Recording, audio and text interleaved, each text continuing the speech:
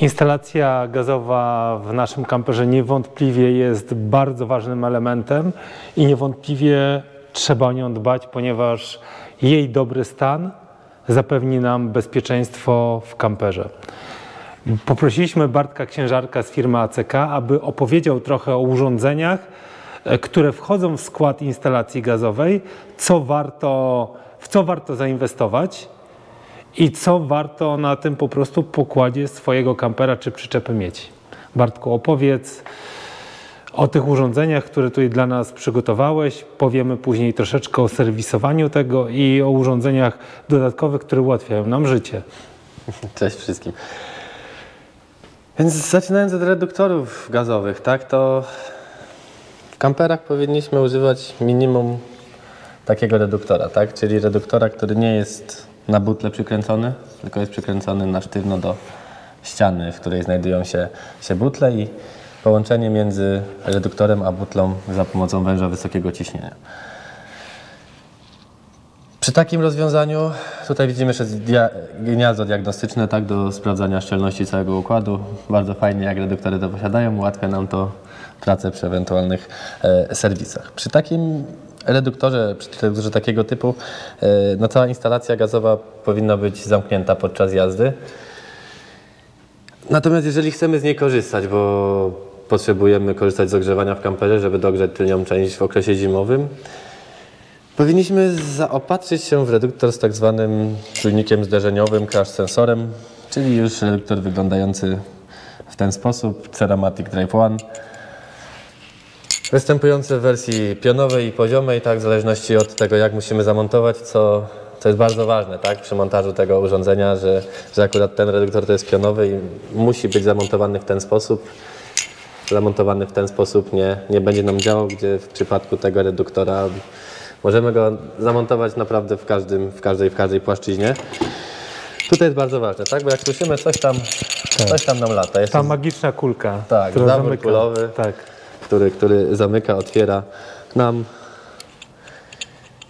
Jeżeli wszystko jest ok, to kuleczka się ustawi, tak? I zawór działa w bardzo prosty sposób. Jeżeli dojdzie do zderzenia z samochodem, teraz nie pamiętam ile G potrzeba, ta kulka wyskakuje i zamyka nam odcięcie e, za, za reduktorem na dalszą część kampera gaz dalej się nie wydostaje, odcina nam dopływ gazu i z takim reduktorem mamy już prawo jeździć z otwartą butlą, korzystać z, z ogrzewania e, podczas jazdy i tutaj nie powinno być już żadnego problemu.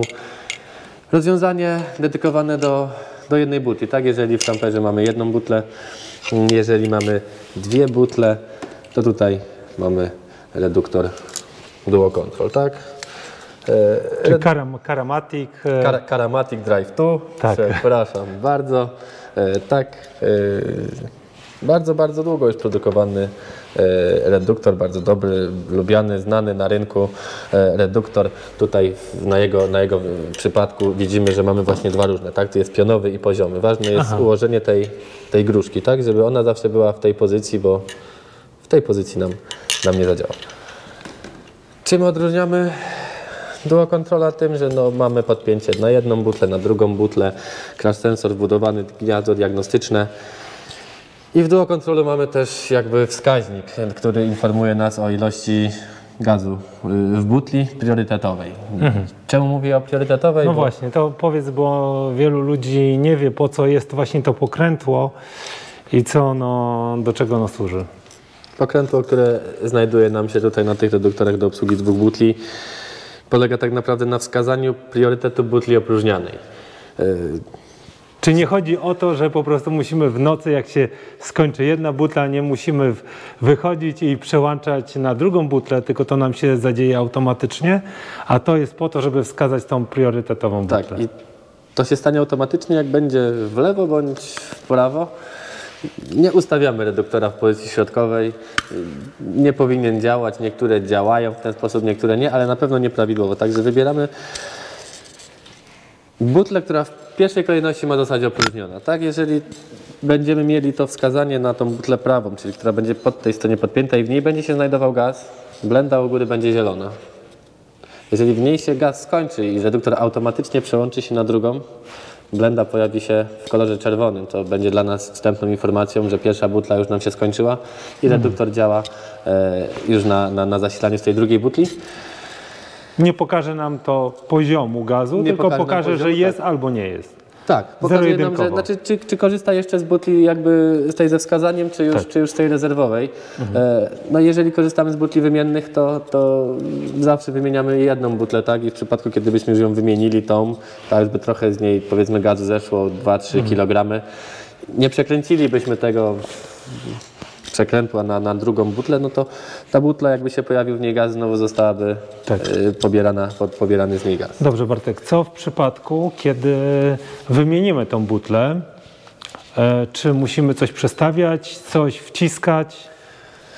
Na reduktorze nie musimy nic tak naprawdę wciskać, tak? Tutaj tylko jeżeli dojdzie do tego, że crash sensor zostanie wybity, no to musimy wcisnąć ten zielony przycisk przez około 5 sekund, przytrzymując go wciśniętego aż do ustawienia się prawidłowego zaworu. Po, po wymianie butli, jeżeli nie wymieniamy dwóch butli jednocześnie, tak? Tylko jedną, która nam się, nam się zwolniła, no proponuję przekręcić, żeby ta butla, z której już działało, żeby, żeby została opróżniona, a ta, ta nowa wstawiona, żeby została tą butlą rezerwową. No tak, no bo może później z kolei dojść do takiej sytuacji, że wymienimy tą, która była oznaczona jako priorytetowa.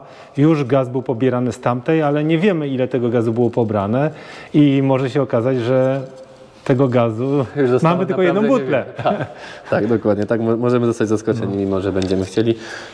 Zaworek na końcu, który się znajduje, nie przekręcamy, tak? On jest, on jest do celów diagnostycznych, zamykamy go, jeżeli chcemy sprawdzić szczelność układu gazowego naszej, naszej instalacji w kamperze. Tak, Dobrze, to taki- wspomniałeś o tym e, resetowaniu crash sensora. Jedynie może dojść do uruchomienia crash sensora przy jakimś wypadku, tak? Nie. Kiedy, kiedy może jeszcze do tego dojść? O, zakładając, że oczywiście go nie ruszaliśmy, ani nie demontowaliśmy. Znaczy, tak jak, jak, jak po rozmowach z klientami, kiedy się to dzieje, rzadko, bo rzadko, bardzo rzadko, jak przejeżdżamy przez, przez krawężnik jakiś, jakiś większy, tak? gdzie naprawdę tą budą nam ruszy w prawo, w lewo, może dojść do, e, do wyskoczenia tego, tego, tego crash sensora, ale odblokowanie go naprawdę nie jest, nie jest trudne. No tak, ale trzeba mieć tą świadomość, Tak. że może do czegoś takiego dojść, dlatego takie pytanie zadałem.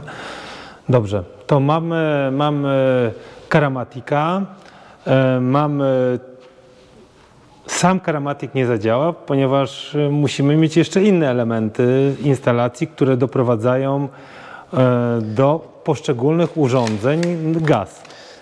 Jeszcze wrócę do węży wysokiego ciśnienia, tak? które Właśnie, znajdują właśnie. się między butlą a reduktorem. Na rynku mamy jakby wiele dostępnych, tak? Najczęściej dla nas y, korzystamy, jeżeli chodzi z butli naszych, to jest ten gwint G12. To jest standard. Tutaj bardziej bym się skupił na, tej, na, tym, na, na tym, y, to wchodzi do reduktora, tutaj mamy ten G12. Różnica między tym a tym, tak? To jest zwykły wąż wysokiego ciśnienia. Nie ma dla nas żadnego zabezpieczenia. E, Co ważne, na każdym takim wężu jest wybita data, tak? I, i, I na przykład na etykiecie mamy tutaj 2032, e, to będzie tam, że został wyprodukowany w 2000 roku, 32 tygodniu. I, na wąż jest 10-letnia e, homologacja, tak? E, Albo na wężu mamy datę o, produkcja, przepraszam, tu jest produkcja, czyli no, w 22 roku, czyli świeżutki Tak, wąż, tak, czyli, tak. czyli no ten, ten, ten, Do ten 32 roku tak, do prostu- 32 roku i tam zostały produkowane. Ale wróćmy do tego, tak? Czyli wąż wysokiego ciśnienia z zaworem zwanym SBS. Mhm. E, czyli zaworem, który tak naprawdę zamknie nam wypływ z butli, jeżeli doszłoby na przykład do przecięcia tego, tego węża. Jeżeli Mhm. doszłoby do nagłego rozszczelnienia układu, gdzie będzie zbyt duży wypływ gazu z butli, ten zawór automatycznie też zamknie nam e, wypływ z tej butli. Mhm. Już kupując jeden i drugi wąż, różnica między tymi dwoma, dwoma wężami nie jest znaczna, więc zdecydowanie Polecasz ten, zakup, tak? zakup SBS-a. Tak, tak, tak. Mm, Słowo do klientów, którzy zakupili u nas kampera, jeżeli korzystamy z, z tych butli alu czy, czy, czy, czy z kompozytowych tych do tankowania, e, to te butle posiadają ten zawór w sobie, tak? Więc tam często zakładamy te, te, te węże bez, bez zawora, No, bo nie ma co dublować jakby, jakby zabezpieczeń. Czyli doprowadziliśmy tym przewodem e, z butli do, Do reduktora. do reduktora. E, to tak, ale jeszcze aby nie mieć problemów z urządzeniami, które są zasilane gazem, warto za, zainstalować w naszej instalacji gazowej filtry, tak? o których wielu ludzi nie myśli, albo w ogóle może nawet nie ma świadomości, że jak zanieczyszczony jest nasz gaz. Nie tylko nasz gaz, tak? Cały gaz w całej Europie i to, to niekoniecznie zanieczyszczony, ale, ale filtr gazu tak, jak najbardziej polecam.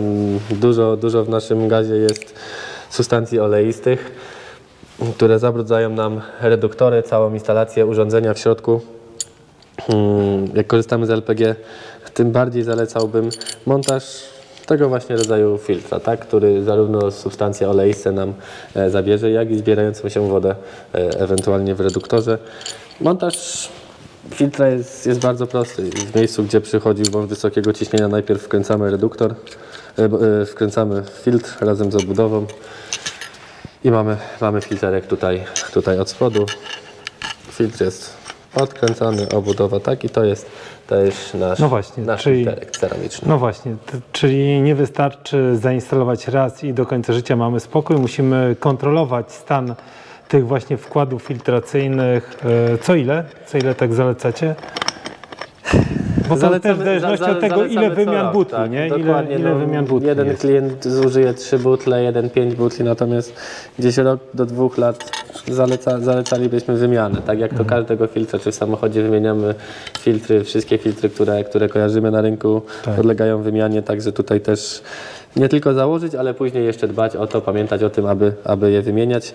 E, Jak ktoś sporo korzysta z gazu, po odkręceniu tego, mm, tej obudowy, Tak, obudowy filtra. Proszę ją ściągnąć w dół i zobaczyć w dół. Często tam na, na dole to jest akurat nowy, więc tam nic nie będzie. E, ale zobaczymy olej, po prostu olej, który jest bardzo śmierdzącą substancją. E, I to właśnie się zebrało, tak? To jest zbiorniczek, który tam zbiera nam tą substancję oleistą, filtruje wszystko, co trzeba i do naszej instalacji dochodzi już e, czysta forma gazu. Jeżeli chodzi o instalację, słówko szybkie. Jeżeli był problem z montażem, to w zestawie możemy dokupić kolanko, tak? które spowoduje, że gdzieś tam ten filtr będzie w innym kierunku ustawiony. Aha, Jeżeli trzeba na Czyli jak przykład miejsca tak, tak, nie często miejsca jakoś tak, brakuje, tak, to tak. możemy sobie tam dokupić. no dobrze. I też, I też pamiętajmy o tym, że jeżeli mamy k- karamatika podłączonego do dwóch butli, to warto zainstalować dwa filtry. Tak? Czyli do każdej butli, do każdego węża. Z jednej, z jednej i E, z drugiej tak, z strony. jednej i z drugiej Zestawy strony. też są sprzedawane podwójnie, tak jak widać w setach. Aha, Można kupić pojedynczo, ale, ale, ale w zestawikach kupujemy dwa wkładziki wymienne. mamy instalację gazową, ale jeszcze są jakieś urządzenia pomocnicze, tak? które nam takie ułatwiają życie w korzystaniu z Tak. tej instalacji. Yy, Jest to wskaźniczek, który, który montujemy, montujemy na reduktorze.